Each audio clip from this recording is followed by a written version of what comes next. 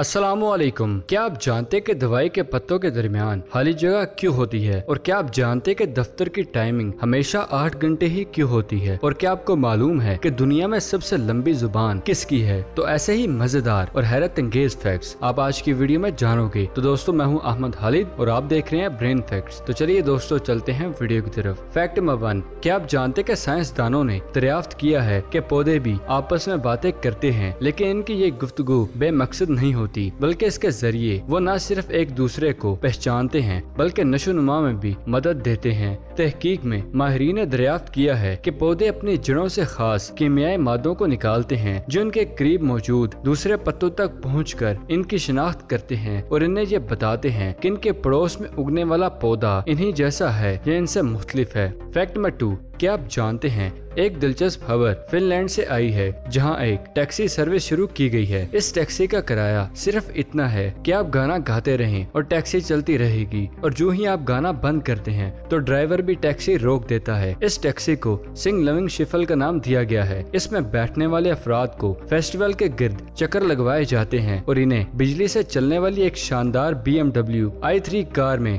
बिठाया जाता है। इसका मुआवजा सिर्फ़ इतना है की आपको कार में बैठते ही ड्राइविंग के साथ आवाज़ मिलाकर गाना गाना होता है और जैसे ही आप गाना बंद करते हैं एन उसी वक्त वो कार रोक देता है। इसका मकसद ये है कि कंपनी लोगों को गाड़ी से आगाह करना चाहती है, क्योंकि इसमें इंजन की आवाज़ नहीं आती और लोग आसानी से बातचीत कर सकते हैं और गाना गा सकते हैं। फैक्ट नंबर थ्री आम मीठे और ढेर सारे होने चाहिए। मगर क्या आप किसी रेडी पर से आम लेते हुए बता सकते हैं कि ये आम मीठा और जायकेदार होगा या फीका? यकीनन सुनने में नामुमकिन लगता होगा। मगर ये ऐसा कोई खास मुश्किल भी नहीं। इस मौसम में आमों की मुतद अकसाम बाज़ार में मिलने लगती है, जिनमें से मीठे, खुश जायका फल मुंतब करने के लिए आपको बस दर्जा झेल चंद आम चीज़ों को आजमा कर देखना होगा। पक्के हुए मीठे आम छूने में मामूल से ज़्यादा नरम होते हैं। बिल्कुल आड़ू की तरह, मगर इतने भी नरम नहीं होते कि आपकी उंगलियाँ इसके अंदर दसना शुरू हो जाएँ। तो आम को उठाकर देखें तो वो थोड़ा नरम महसूस हो तो वो खाने के लिए मुनासिब है तहम, अगर आप कुछ दिनों तक आम खाने का इरादा नहीं रखते तो ऐसे आम मुंतब करें जो सख्त हों, ताकि वो घर में पूरी तरह से पक जाएँ। अच्छा आम किसी फुटबॉल जैसी साथ का होता है तो ऐसे ही फल का इंतज़ाम करें जो गोल मटोल है फैक्ट नंबर फोर क्या आप जानते हैं गोलियों की पैकिंग के बीच खाली जगह क्यों छोड़ी जाती हैं? अक्सर औकात बीमार पड़ने पर बहाली सेहत के लिए अद्वियात का इस्तेमाल करते हैं इन अद्वियात में डॉक्टरी नुस्खे के मुताबिक टेबलेट्स, यानी गोलियाँ भी होती हैं। क्या आपने कभी गौर किया है कि इन टेबलेट्स के पत्तों में पैक गोलियों के दरमियान खाली जगह छोड़ दी जाती है ऐसा क्यों किया जाता है और इसके पीछे क्या राज पोशीदा है इस सवाल का जवाब ये है की अगर आप भी अब तक ये समझ रहे थे की ये खाली जगह बेवजह होती है तो आप गलत हैं, क्योंकि ऐसा करने के पीछे कई वजूहत हैं। दवाइयाँ भारी मकदार में एक जगह से दूसरी जगह भेजी जाती हैं। ऐसे में इनके टूटने का खतरा रहता है। इनके दरमियान खाली जगह न सिर्फ़ टेबलेट्स, यानी गोलियों को टूटने से बचाती है, ताकि झटका लगने पर दवाइयाँ मुतासर न हो, बल्कि पैकिंग में खाली जगह छोड़ने की एक वजह ये भी है कि टेबलेट्स में मुख्तलिफ़ इकसाम के केमिकल मौजूद होते हैं। इसलिए इन्हें एक दूसरे से दूर रखा जाता है, ताकि इनमें केमिकल रिएक्शन ना हो। लेकिन जो सबसे सबसे बड़ी और अहम वजह है वो ये कि इन हाली जगहों की वजह से टैबलेट्स को काटने या निकालने में आसानी पैदा की जा सके। फैक्ट नंबर फाइव क्या आप जानते कि दफातर में ऑफ़िस टाइमिंग आठ घंटे क्यों रखी जाती है? ऐसी तफसीलात सामने आ गई जो यकीनन आपको पहले मालूम ना थी। तफसीलात के मुताबिक दुनिया के हर दफ्तर में एक शिफ्ट का टाइम आठ घंटों पर मुश्तमिल होता है और ये असूल तमाम दफातर में लागू किया जाता है कि ऑफ़िस टाइम आठ घंटे हो। इस मकसद के लिए आठ घंटे का दिन के नाम से 1950 में एक तहरीक चलाई गई। तहरीक के तहत काम करने के वक्त को किसी असूल में लाना था, जिसका मकसद मुलाजमीन के लिए लिए आसानी पैदा करना थी। इस तहरीक को जेम्स डेब ने शुरू किया। इस दौर के बरतानिया में बच्चों से मेहनत लेना मामूल की बात थी। मजदूरों के काम करने के औकात रोज़ाना दस घंटे से सोलह घंटों पर मुश्तमिल होते थे और इन्हें हफ़्ते में बामुश्किल एक छुट्टी मिल पाती थी। इस तहरीक का नारा था कि आठ घंटे का काम, आठ घंटे तफरी और आठ घंटे आराम। फैक्ट नंबर सिक्स यूँ तो पंजा लड़ाना, वज़न उठाना या खाने का मुकाबला सबकी तवज्जो का मरकज बनता था। लेकिन हाल ही में चीन में हुआ ट्रसलिंग, यानी पाओ के पंजे लड़ाने का दिलचस्प मुकाबला। ये मुकाबला चीन के शहर चोंग किंग में मुनद हुआ, जिसमें मर्द हजरात समेत बच्चों और खुवान ने भी भरपूर हिस्सा लिया। ट्रसलिंग मुकाबले का दुरानिया एक मिनट था, जिसमें पाओ के अंगूठे ऐसी मुखालिफ खिलाड़ी को शिकस्त देना थी। खेल का निकाह करने वाली इंतजामिया का कहना है की ट्रोसलिंग तैराकी मुकाबले ऐसी पहले रखी जाती है ताकि तैरते हुए इनके पट्टे दर्द या दुश्वारी का शिकार न हो। खेल में शरीक खिलाड़ियों ने मुतालबा किया कि इस मुकाबले को ओलंपिक खेलों में भी शामिल किया जाए।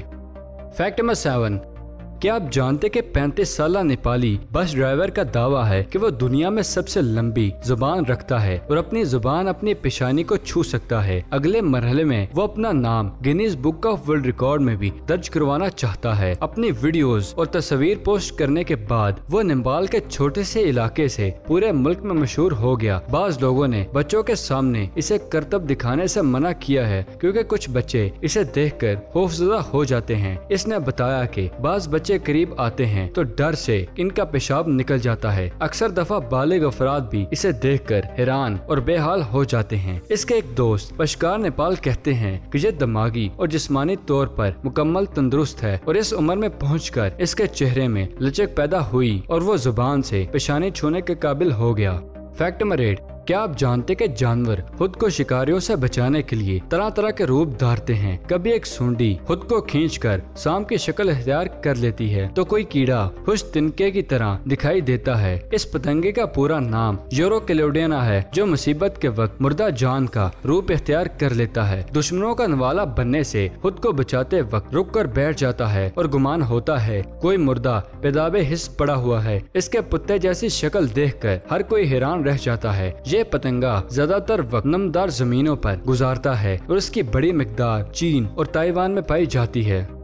फैक्ट नंबर नाइन, क्या आप जानते कि चीन से एक हैरत अंगेज खबर आई है कि एक खातून ऐसे कैफियत की शिकार हो गई है कि वो खुवान की आवाज़ तो सुन पाती हैं, मगर मर्द हजरात की आवाज़ इन्हें सुनाई नहीं देती। यहाँ तक कि वो अपने दोस्त मर्दों की आवाज़ भी नहीं सुन सकती। खातून को एक रात कै और कानों में सीटियाँ बजने की शिकायत थी और जब सुबह बेदार हुई और मर्दों की आवाज़ नहीं सुन पा रही थी यहाँ तक कि वो अपने दोस्त की आवाज़ भी नहीं सुन पा रही थी जुनूब मशरकी चीन इलाके श्यामन में रहने वाली खातून इसके बाद हॉस्पिटल गई तो डॉक्टरों ने बताया की वो रेवस लोब के मर्ज में मुबला हो गई जिसमें इंसान कम फ्रीक्वेंसी की आवाज़ नहीं सुन पाता। ये कैफियत पूरी दुनिया में सिर्फ़ तीन हज़ार अफराद में ही रिपोर्ट हुई है। इसका शिकार मरीज़ मर्दों की आवाज़ नहीं सुन पाते, क्योंकि मर्द धीमी फ्रीक्वेंसी में बात करते हैं।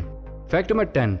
क्या आप जानते कि अमेरिकी इंजीनियरों ने हैरत अंगेज पेन बनाया है, जिसे किसी भी रंग की शय पर कुछ देर रखा जाए तो वो किसी भी रंग में लिखना शुरू कर देता है। स्मार्ट पेन हर एक रंग में तहरीर कर सकता है, जो आप सोच सकते हैं। और इसके लिए कुछ देर तक पेन को इस शय पर रखना होगा, और फिर कलम वही रंग तैयार करके लिखने के लिए तैयार होता है। इस कलम की कीमत चौबीस हज़ार नौ सौ है, और इसमें कलर सेंसर नस्ब है, और इसके अलावा माइक्रो प्रोसेसर इस रंग को शनाख्त करता है, और इसमें स्मार्ट इंक सिस्टम वही रंग तैयार कर देता है। कलम, चेरी, गुलाब और सेब की सुरख रंगत के दरमियान फ़र्क कर सकता है और वैसे ही रंग की लाइन खींच देता है। अगर आपके घर में पौधे हैं तो ये उनका भी रंग बना सकता है।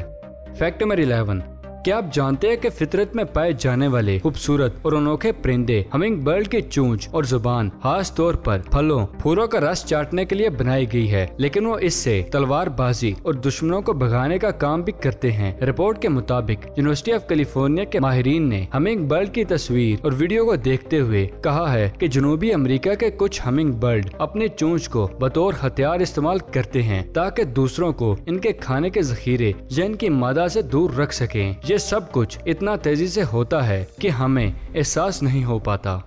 Fact number twelve. क्या आप जानते कि चीनी सूबे गुआई जू के स्कूलों के बच्चों के यूनिफॉर्म पर माइक्रोचिप लगाई गई है, जो जीपीएस के ज़रिए बच्चों का जायजा लेती रहती है? खुआम हो स्कूल के मैदान से बाहर तो नहीं निकल चुके हैं? बच्चों के लिबास के कंधों पर दाएँ और बाएँ दो चिप्स लगाई गई हैं, जिनके ज़रिए स्कूल इंतजामिया और वालदेन दोनों ही बच्चों की ट्रेनिंग कर सकते हैं। अगरचे बच्चा कमरा जमात से बाहर जाए या स्कूल से निकल जाए तो इसकी फौरी इतला वालदेन और स्कूल की इंतजामिया को हो जाती है। ये सिस्टम स्कूल में बच्चे के सोने की खबर भी इंतजामिया को पहुँचा देता है और इसी पर बस नहीं, बल्कि इसमें एक मोबाइल ऐप के ज़रिए पैसे खर्च करने और इसकी हद कायम करने का भी इंतज़ाम है।